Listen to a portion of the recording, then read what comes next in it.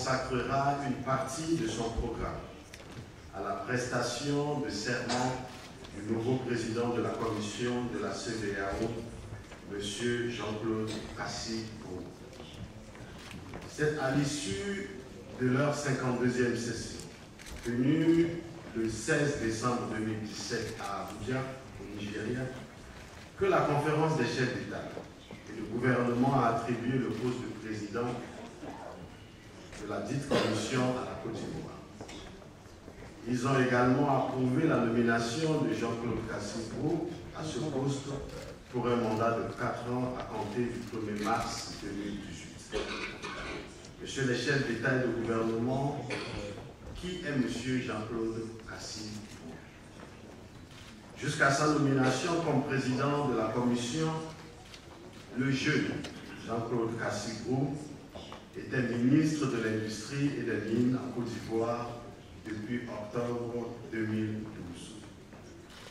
Auparavant, il avait occupé le poste de conseiller économique et financier du Premier ministre ivoirien de 1991 à 1995. En 1996, il sera nommé directeur de cabinet du Premier ministre, poste qu'il conservera jusqu'en 1999. Pendant cette période, et parallèlement à cette fonction, il fut aussi le président du comité des privatisations.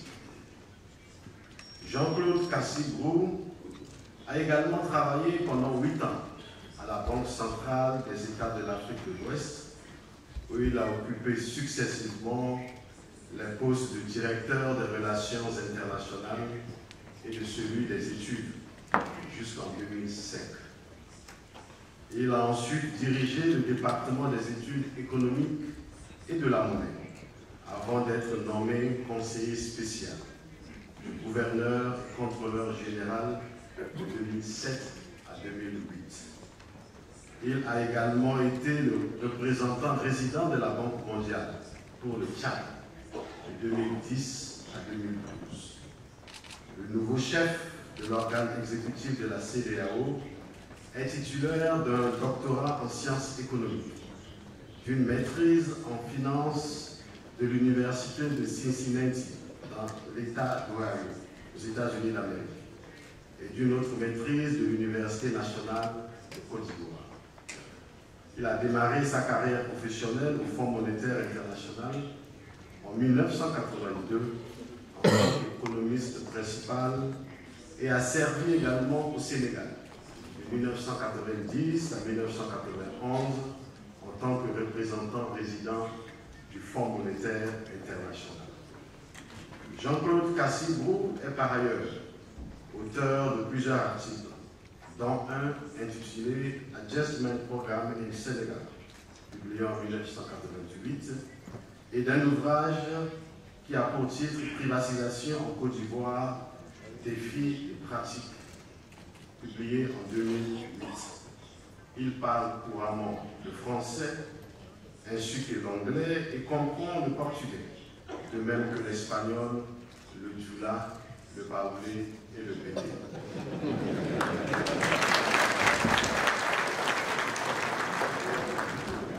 Jean-Claude Cassibrou est à l'heure où nous vous parlons marié et père de deux enfants officiels.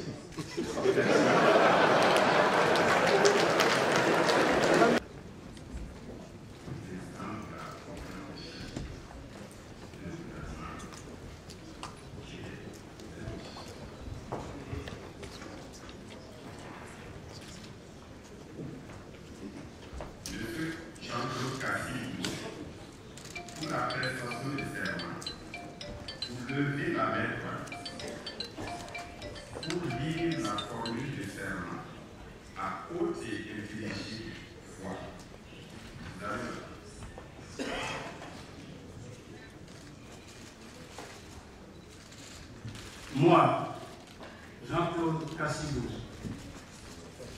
je jure de servir loyalement et fidèlement la communauté économique des États de l'Afrique de l'Ouest, en ma qualité de président de la commission de la CDA, de ne communiquer directement ou indirectement. À personne d'autre que celle à qui je suis habilité à les transmettre, ni de diffuser tout document ou information dont j'aurai une connaissance dans l'exercice de mes fonctions, ni de faire de cette information que je détiens de par mes attributions un usage pour remporter un préjudice quelconque à la sécurité ou aux intérêts de la communauté, même après avoir cessé toute fonction au sein de cette institution. Je jure également d'exercer en toute loyauté, discrétion et conscience les fonctions qui m'ont été confiées, de m'acquitter de celles-ci et de régler ma conduite en ayant exclusivement en vue les intérêts de la CDE sans solliciter ni accepter d'instructions d'aucun gouvernement ou autre autorité extérieure à la communauté dans l'exercice de mes fonctions. Fait à Lomé, prêté à Lomé le 31 juillet 2018 à la 53e session ordinaire de la conférence des chefs d'État et de gouvernement.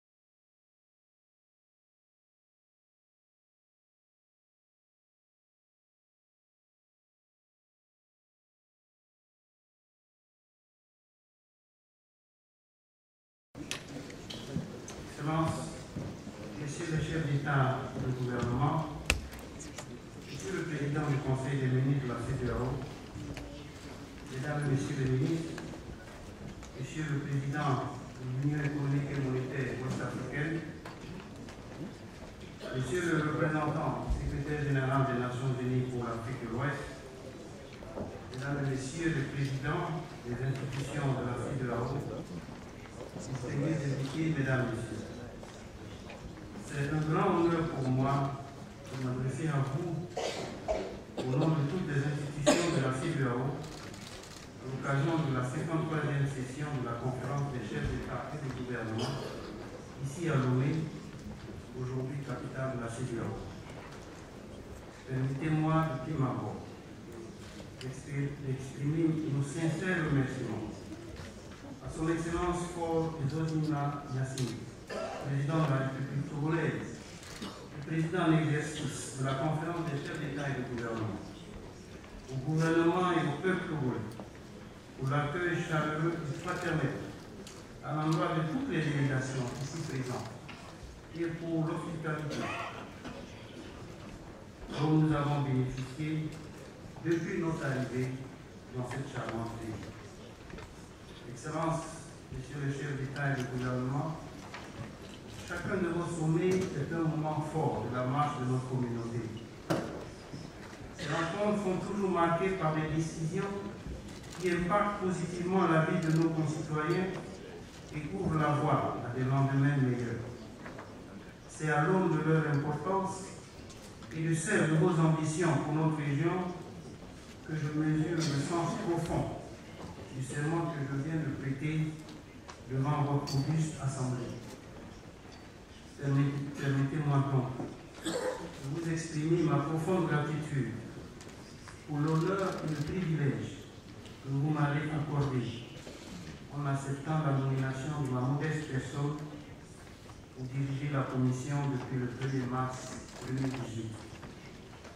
C'est dans cet esprit que je réaffirme devant vous mon engagement à œuvrer avec abnégation et sous votre autorité à la réalisation des objectifs de notre communauté. Cette mission qui m'a été confiée a été possible parce que mon pays, la Côte d'Ivoire, a bien voulu vous présenter ma candidature. Permettez-moi donc de redire toute ma gratitude à son Excellence M. Alassane Ouattara, président de la République de Côte d'Ivoire, pour cet insigne honneur et cette marque de confiance.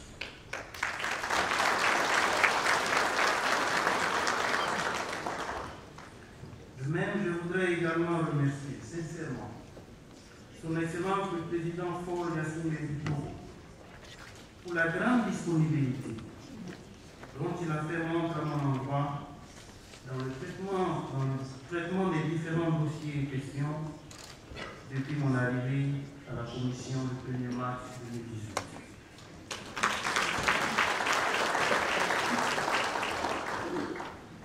À l'endroit de son Excellence M. Mohamedou Bouhari, président de la République fédérale du Nigeria, nous sommes tout aussi reconnaissants pour l'accueil et l'hospitalité attentive qui nous est accordée à Abuja.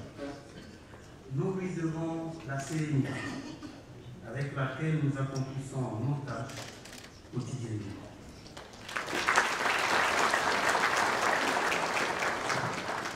À tous les chefs d'État et de gouvernement, je réitère mes remerciements pour les conseils que vous m'avez généreusement prodigués depuis ma prise de fonction.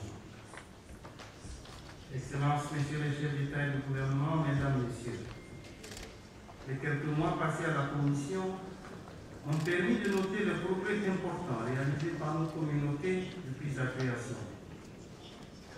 En témoigne l'attrait que notre région exerce si on s'en tient aux nombreuses demandes de partenariat ou de coopération émanant de différents pays et entités.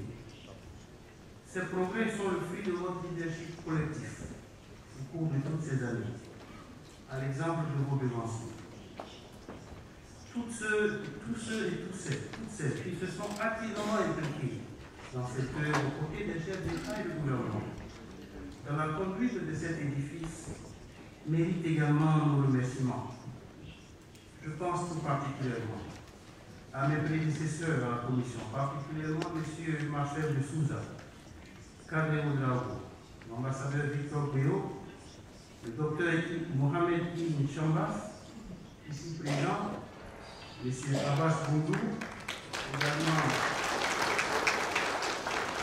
ici présent, actuellement président du Parlement sierra-léonais, pour ne citer que ceux-là, pour les nombreux acquis de notre communauté.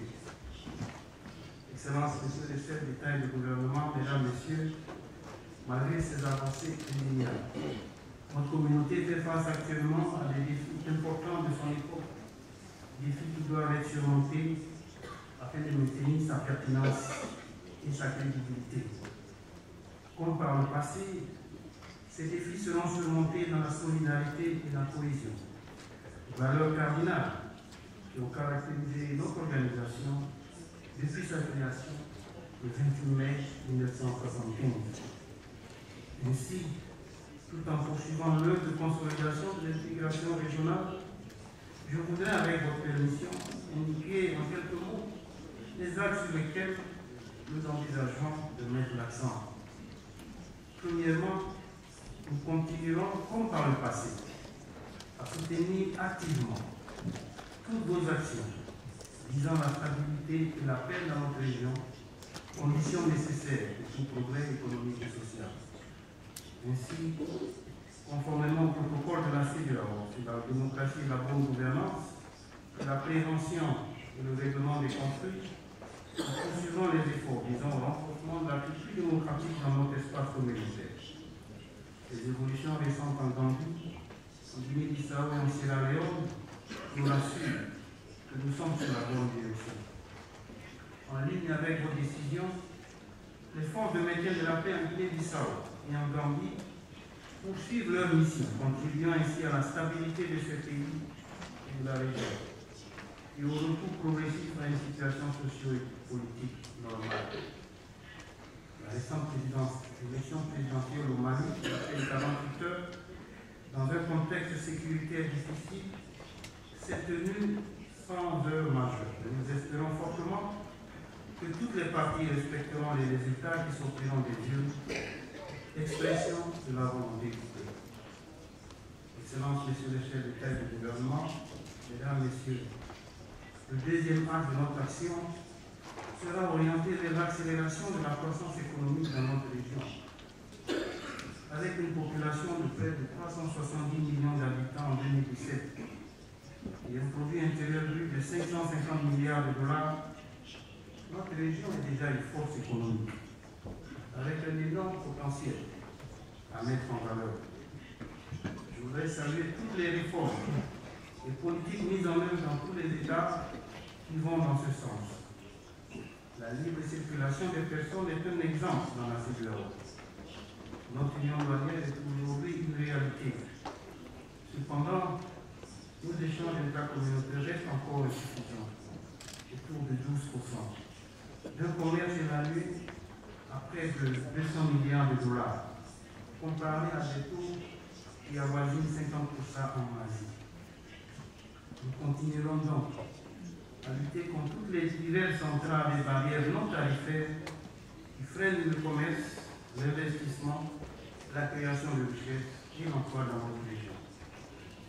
Les programmes et projets régionaux de renforcement des infrastructures en matière de transport, d'énergie et de télécommunications, en complément aux efforts importants consentis par les États membres, seront poursuivis afin d'améliorer la compétitivité de nos économies et soutenir l'investissement privé. Un secteur agricole plus productif, une intégration plus poussée dans les chaînes de valeur internationales seront nécessaires pour renforcer notre position dans le commerce mondial et lutter contre le chômage. Sur un autre plan, notre région a connu au cours des dernières années une crise sanitaire aiguë a engendré des coûts humanitaires importants. Nous continuerons à soutenir les actions menées au niveau des États membres, avec un accent particulier sur la prévention, la, la sensibilisation pour faciliter l'insertion dans ce domaine.